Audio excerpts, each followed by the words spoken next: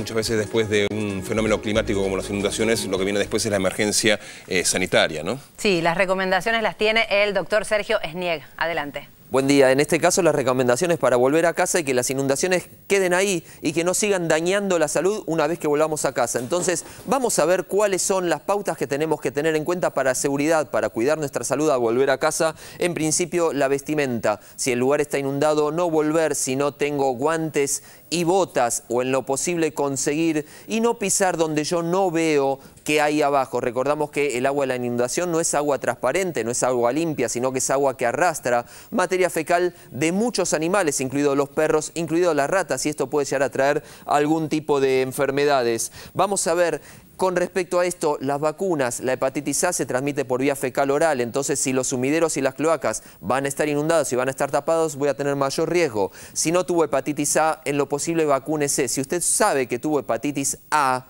entonces no hay problema con esta enfermedad. Y con respecto a la antitetánica, recuerde, cada 10 años hay que aplicarse la doble de adultos que tiene difteria y tétanos. Si usted no se la aplicó en los últimos 10 años, antes de volver a su casa, vaya y aplíquese una doble de adultos o aunque sea una antitetánica. Los chicos ya tienen seguramente el carnet de vacunas al día. Y con respecto a los alimentos, los que son perecederos tendremos que tirarlos Así que vamos a eliminar los alimentos perecederos que no estuvieron eh, cuando se cortó la luz, no, mantuvieron la cadena de frío. Las conservas hechas en casa también las vamos a tirar, inclusive las que tienen tapa rosca, media rosca, tapa dentada. Los flexibles, si son de herméticos, se pueden usar. Los envases de cartón, lamentablemente, también los vamos a tener que tirar.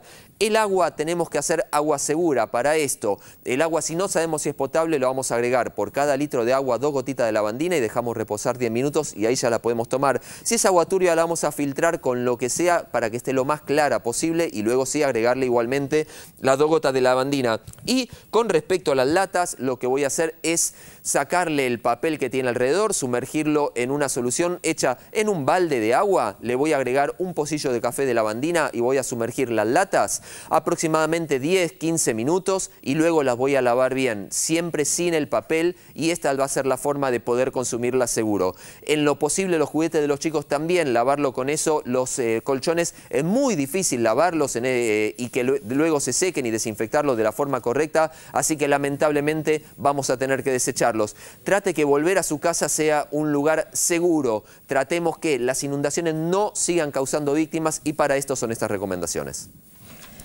Clarísimo, muchas gracias. la otra mirada ¿no? de una tragedia como la que se vive en el centro del país.